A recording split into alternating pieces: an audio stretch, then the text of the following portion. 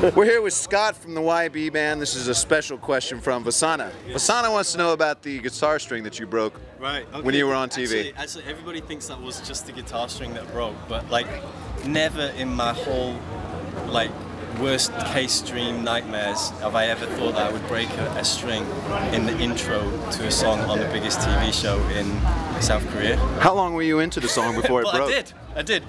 Like it, it's like a ska rhythm. It's like. You know, like if you hit a drum and the stick breaks, you kind of lose your rhythm a little bit. Yeah.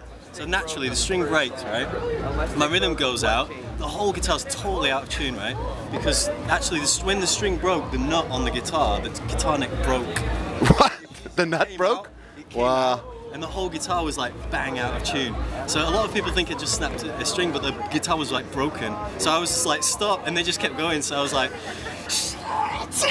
and then So I just to- kept tuning it a little Yeah. bit, bit by bit, like until like the end, I was like in tune. So to all those people out there who are watching you on TV who think, God, this guy's really a bad guitarist, what, what, what do you have to say to them? I am. Right on. That was for Vasana. He really wanted to know that.